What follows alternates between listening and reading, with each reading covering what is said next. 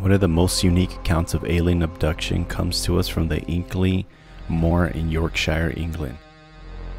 The witness and subject of this case is a former police officer named Philip Spencer. Spencer claims that in the early morning December 1st, 1987, he was taken aboard an unidentified flying craft, and after his release managed to snap a picture of one of the alien beings. Unfortunately, the picture that he took was somewhat blurred, but there is no doubt that the creature in the photo is one of a kind being which basically resembles the small greys. The alien picture was first looked at by a wildlife photography expert. The object in the image was not an animal of any known kind. It could not be determined either way if the figure was animate or static.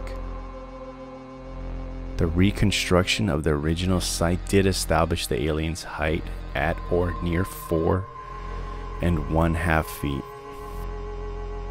The photograph was next sent to Kodak Laboratories in Hemel Hempstead. An analysis showed that the object was indeed part of the original photo and not superimposed. This conclusion did not, of course, determine what the creature was.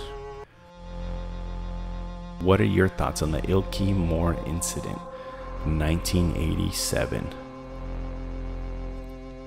Is this a hoax? Is it real? Did he actually capture a photo of an alien being gesturing to him to come aboard my ship, please? In my opinion, it's unexplained.